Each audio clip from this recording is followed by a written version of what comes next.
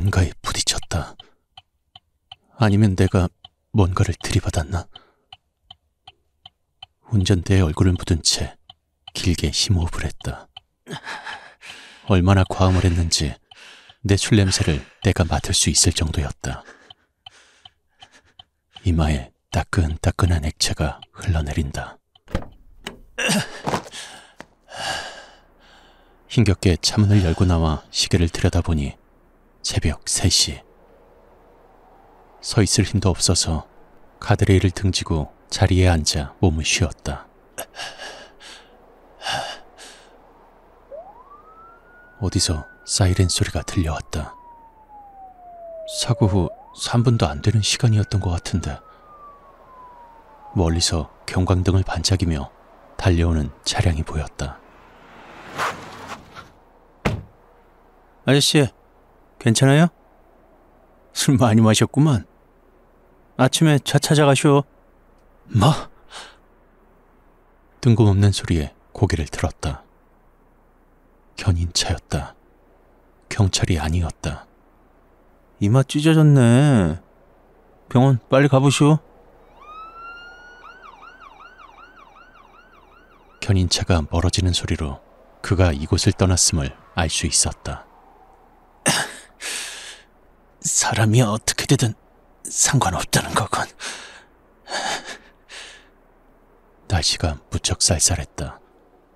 나는 코트를 꽉 움켜쥐고 체온을 빼앗기지 않기 위해 안간힘을 썼다. 그런데 갑자기 어디선가 낯선 여자의 음성이 들렸다. 아저씨, 추워요. 나도 추워. 정신이 혼미하여 아무 생각 없이 대답했다. 아저씨, 추워요. 나도 춥다니까. 갑자기 확 짜증이 밀려와 고개를 치켜들고 소리쳤다. 그리고 목소리가 들리는 쪽을 바라보니 옅은 안개 속에서 가드레일을 따라 웬 낯선 여자가 다가오고 있었다. 그런데 그 여자의 모습이 결코 평범해 보이지 않았다. 원피스를 입은 온몸이 물에 젖었고 청백색의 피부에 비현실적으로 느껴질 정도로 검은 눈과 긴 생머리. 갑자기 체내의 모든 알코올이 분해되는 것처럼 나는 정신이 확 깼다. 점점 더 다가올 때마다 선명해지는 그녀의 모습은 사람의 몰골이 아니었다. 피부가 심하게 벗겨져 있었고 피부 밖으로 노출된 뼈가 보였다. 아저씨, 추워요. 터진 왼쪽 뺨 사이로 이빨 부딪히는 소리가 새어나왔다. 뭐야? 가, 가까이 오지 마. 바로 그때 에이봐요, 아저씨. 낯선 남자의 부름에 나는 고개를 획 돌렸고 택시였다. 나는 대답도 하지 못한 채 용수철처럼 튀어올라 뒷좌석으로 몸을 던졌다. 아, 아무 병원이나 가요. 빨리요.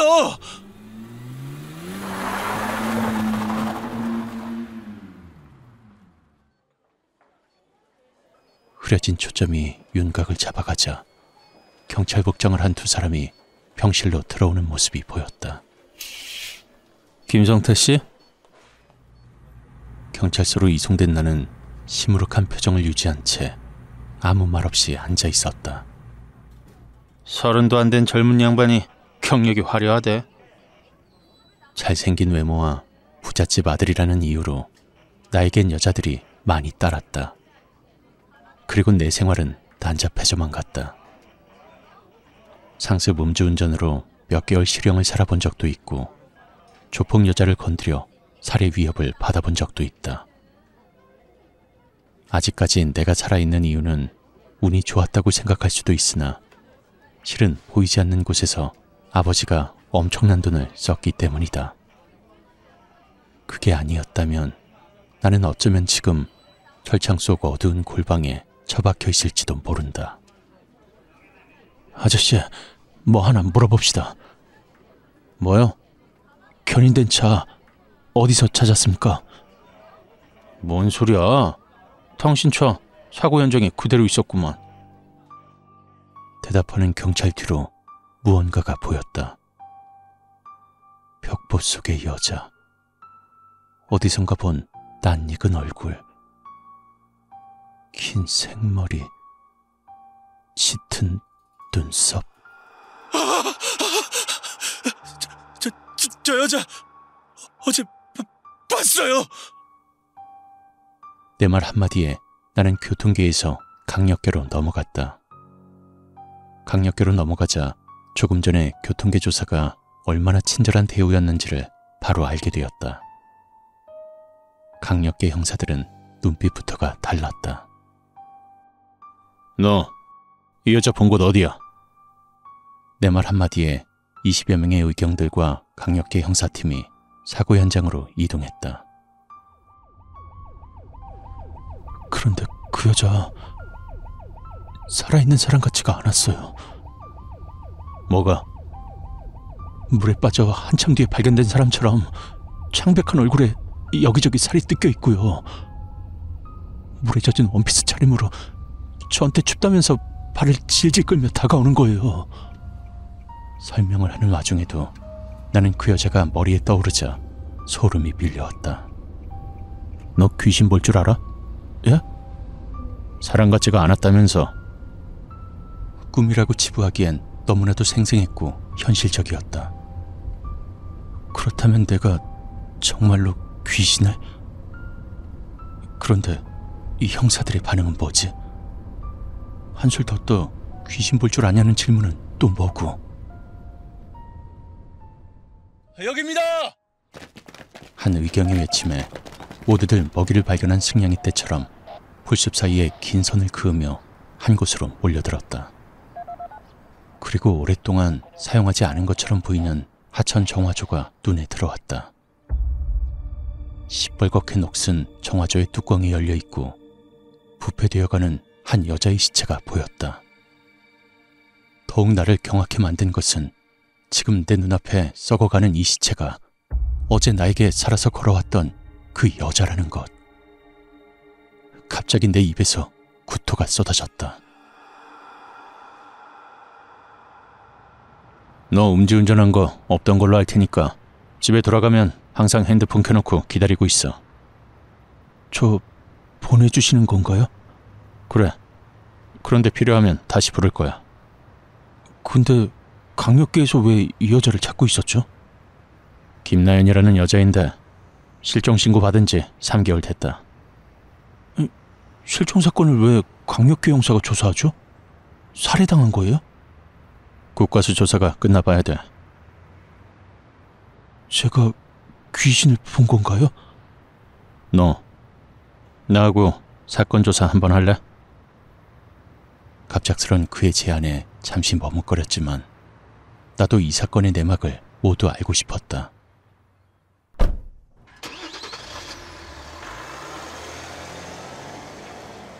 박 형사가 차에 올라타며 말했다. 몇 개월 전에 우리 수사팀은 대규모의 신종 마약이 유통된다는 첩보를 입수하고 수사에 착수했어. 그 조직은 몇 개의 나이트클럽과 고급 스탠드바를 운영하고 있었지. 음, 거기엔 얼굴 마당격의 여자가 있었는데 미모가 얼마나 출중하고 요염했는지 그 여자 때문에 매상이 장난이 아니었다고 하더군. 그 여자가 바로 네가 찾아낸 김나연이라는 여자야. 근데 지금 우리 어디 가는 거예요? 조직이 운영하는 스탠드바. 그곳에도 분명 시체가 숨겨져 있을 거야. 그걸 어떻게 아는데요? 음, 몰라. 이제부터 네 눈으로 알아봐야지. 스탠드바는 화려한 입구가 인상적이었다. 이곳을 지키고 있는 검은색 양복의 건장한 청년들이 경계하듯 눈빛을 쏘았지만 박 형사는 현장 조사를 명목으로 잠시나마 시간을 벌었다. 시간 없어. 시작해. 의자와 탁자를 쌓아 올리고 그곳에 올라가 준비해온 공구로 우리 키에 1.5배 정도 위에 설치되어 있는 환풍구를 뜯어내기 시작했다. 순식간에 좁은 환풍구 통로가 열리자 나는 쌓여진 탁자와 의자를 타고 올라갔다. 통로 안으로 몸을 집어넣자 무릎을 꿇고 기는 것도 모자라 몸을 완전히 눕히고 포복으로 기어야 할 정도로 좁았다. 실내의 불빛으로부터 멀어지자 통로 안은 그야말로 암흑천지가 되었다. 유일한 빛이라고는 이뱀은 손전등에서 나오는 가느다란 빗줄기뿐. 그런데 갑자기 손전등의 빛이 닿지 않는 저 어둠의 통로에서 정체 모를 소리가 들려왔다.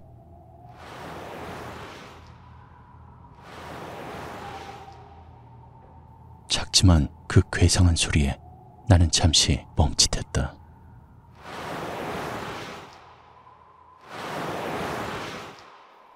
그 소리가 어느 정도 가까워지자 그제서야 나는 그 소리의 정체가 지금 내가 배를 메고 전진하고 있는 소리와 같다는 것을 알게 됐다. 내 앞에 어두운 통로 속에서 누군가가 기어오고 있었다. 잠시 후 그 무언가가 바로 앞까지 다가왔음이 느껴졌다. 입에 물려있는 손전등으로 비추어 보았다. 여자다. 난 이 여자를 교통사고가 난 날 병원 안에서 마주친 적이 있다. 간호사 복장을 한 여자의 창백한 얼굴에는 머리에서 흘러내린 시뻘건 피가 수많은 세로선을 긋고 있었다. 귀 밑까지 찢어진 입은 활짝 웃고 있었고 치아가 유난히 하얗다. 그 하얀 치아 틈으로 흘러내린 핏물이 보였다. 비명을 지르려 했지만 입에 손전등이 물려 있었고 뒤로 물러설 수도 없었다.